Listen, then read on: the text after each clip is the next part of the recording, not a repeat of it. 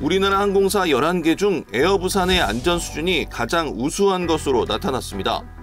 국토교통부에 따르면 지난해 항공사별 안전 수준을 평가한 결과 에어부산과 에어프레미아, 아시아나항공 순으로 높은 점수를 받았습니다. 국토부는 취약 분야의 감독 역량을 집중하는 위험 기반 감독 계획을 수립하기 위해 안전 수준을 평가했다고 밝혔습니다. 대한항공과 플라이 강원, 에어 인천은 전체 항공사 평균보다 낮은 수준으로 평가됐습니다.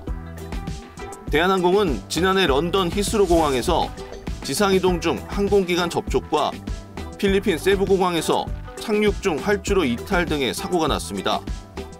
국토부는 국민들의 항공사 선택에 도움을 주기 위해 오늘부터 항공사 사고 현황 등의 안전 정보를 홈페이지에 공개합니다. 국토부는 올해 항공안전 감독을 국제선 증편에 따른 변화 관리, 종사자 기본 안전수칙 준수 등을 위해 현장 위주로 전환합니다. 기본 수칙 위반이 적발되면 법령에 따라 엄정 조치하고 특별 점검도 병행할 예정입니다.